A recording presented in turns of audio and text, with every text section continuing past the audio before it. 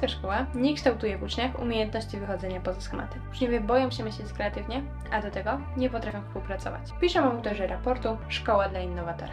Stawiają tezę, że XIX-wieczny model szkoły funkcjonujący dziś w Polsce przestał być aktualny. Dlatego powinno się zmienić cały system.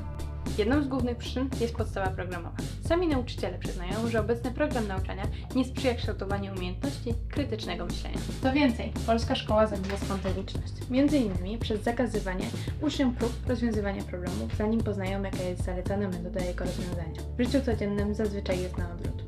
Kolejnym problemem jest promowanie powierzchownej nauki. Przez to 90% nabywanej wiedzy zostaje wykute na pamięć i szybko zapominane. Szczególnie problematyczne jest nauczanie treści już nieaktualnych, co obniża autorytet szkoły i nauczycieli. Równocześnie szkoła promuje uproszczone, a więc często fałszywe opisy, a także stawia na imitacje, zachęcając do powielania wzorów i powtarzania form.